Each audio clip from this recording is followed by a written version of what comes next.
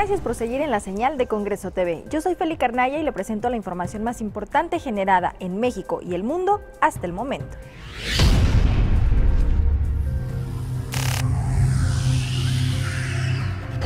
A las 7.30 de este miércoles se instalará la segunda legislatura del Congreso de la Ciudad de México para el periodo 2021-2024.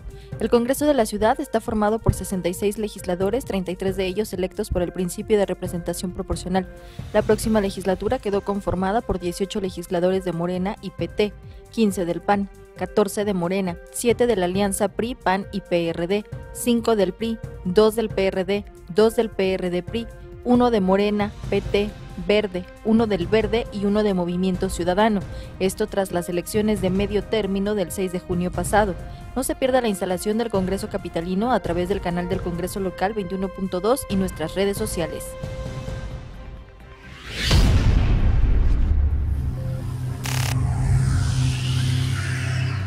La jefa de gobierno capitalino, Claudia Sheinbaum, dio hoy el banderazo de salida a los camiones de Pemex que distribuirán el gas bienestar en la alcaldía Iztapalapa. En un enlace con la conferencia matutina del presidente López Obrador, desde la macroplaza de Iztapalapa, Sheinbaum calificó de hecho histórico el inicio de las operaciones de distribución luego de que hace décadas Pemex no distribuía al menudeo el gas LP. La mandataria dijo que la reforma energética liberó el precio del gas, con lo que se incrementaron los costos pagando hasta 600 pesos por un tanque de 20 kilos. Añadió que con Gas Bienestar se apoya la economía popular y la soberanía del país. Se prevé que en enero próximo el gas se distribuya en todas las alcaldías de la capital del país.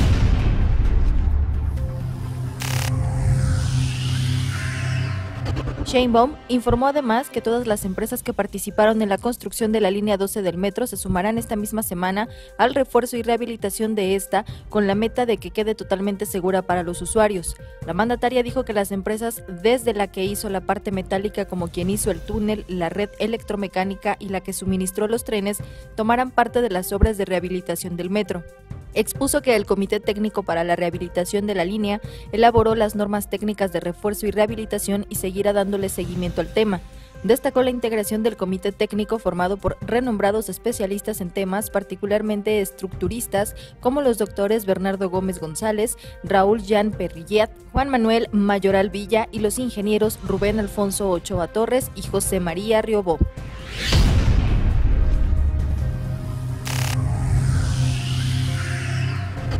La Comisión Económica para América Latina y el Caribe elevó las expectativas de crecimiento económico de México este año al estimar una tasa del 6.3% respecto del 5.8% estimado en julio pasado. En Latinoamérica y el Caribe, el pronóstico de crecimiento es de 5.9%, mayor al 5.2% que se estimó hace unas semanas. Según el organismo dependiente de la ONU, los países con mayor crecimiento serán Guyana, 16%, Panamá, 12%, Perú, 10.6%, Chile, 9.2% y República Dominicana, 8%. Las mayores caídas económicas serán en Venezuela, menos 4%, Haití, menos 1.3% y Suriname, menos 1.3%.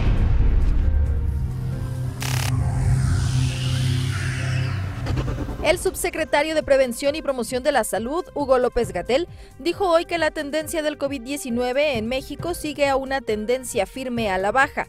En la matutina presidencial en Palacio Nacional, el funcionario ratificó que en las últimas cinco o seis semanas, la curva epidémica de casos estimados empezó a declinar y hoy hay señales claras de que está en un proceso de reducción y anticipamos que esa reducción va a continuar a lo largo de las siguientes semanas. Indicó que esta semana inicia con una reducción de 18% y se prevé que termine con al menos 10% de reducción en la comparación de la semana 33 con la 32. Así que dijo, hay una tendencia sostenida a la reducción. Señaló que en este momento hay 30 entidades federativas de las 32 con una curva epidémica en descenso, a diferencia de solo 17 de la semana pasada.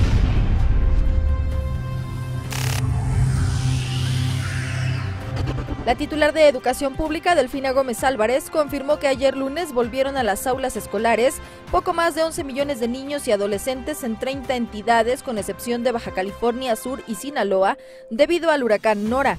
Con base en cifras preliminares, la funcionaria dijo que 119.497 escuelas abrieron sus puertas, 970.617 docentes se reintegraron a sus actividades y 11.426.026 alumnos ya están en las aulas.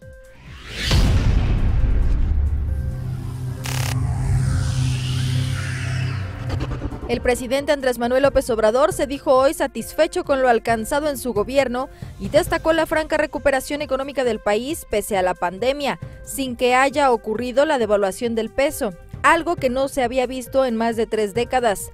Dijo que en su tercer informe de gobierno mañana miércoles ahondará en la recuperación económica nacional el empleo y los pronósticos de crecimiento este año que se ubican en alrededor del 6%, mientras que crecen las reservas del Banco de México. En fin, dijo, hay recuperación económica. Señaló además que no hubo ingobernabilidad, se mantuvo la paz social y tampoco se registró una crisis de consumo.